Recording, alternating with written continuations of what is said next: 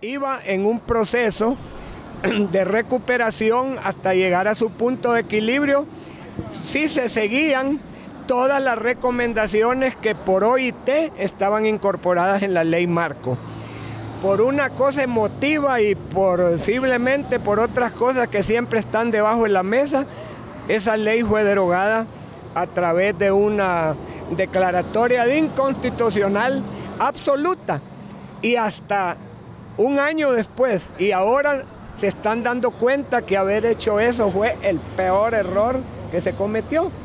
Porque eh, con ese populismo y esa actitud tomaron una decisión y destruyeron todos los beneficios que esa ley generaba, bajo una visión política de que era privatización y por una visión de intereses que no permitió, no permitió lo fundamental.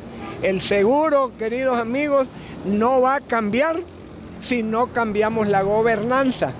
El problema del Seguro Social es de gobernanza, no de administración. La administración obedece a una gobernanza y la gobernanza que tiene el seguro está contaminada por el sectarismo político, por el clientelismo político, de, no de este gobierno, de cualquier gobierno.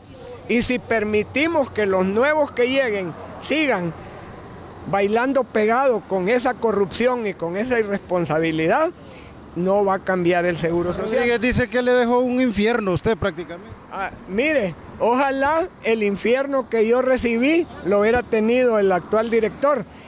Ojalá él no tiene ninguna culpa. Ahí está, mire, los proyectos que nosotros dejamos.